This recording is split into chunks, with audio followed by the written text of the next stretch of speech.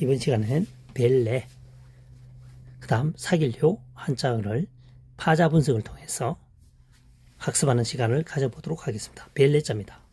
미친 별이죠. 미친 별, 파인부입니다. 미치기도 하고 파이기도 하는 것은 베는 것입니다. 우리가 과거에 낫을 가지고 불을 벨 때는 이렇게 가위표로 막 자르죠. 칩니다. 벨레, 다스릴래, 다스린다는 것은 잡초를 제거하기도 하고 솎아내기도 하고 여러 가지 방면에 봤을 때는 다스리다는 의미도 내포되어 있죠. 그래서 벨레, 다스리다, 다스릴래 되겠습니다. 그 다음 사귈 효죠. 배기도 하고 다스리기도 하는 것은 그렇게 하다가 보면 친구들도 또는 동료들과 사귀기도 한다는 거죠. 과거에는 주로 뭐다? 수렵 생활을 했다는 거죠.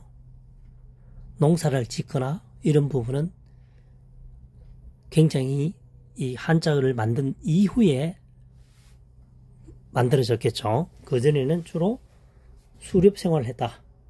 그래서 배기도 하고 다스리기도 하는 과정에서 친구들을 사귀기도 하고 친구들의 좋은 점을 본받기도 한다. 그래서 사귈 효, 본받을 효 되겠습니다. 수효. 이때는 사귈 효, 본받을 효, 숫자를 말하는 수효, 효자로도 봅니다. 해서 수효가 되겠죠. 수효. 이때는 세 번째 뜻을 갖고 있는 겁니다. 수효는 셈 숫자니까요. 수효.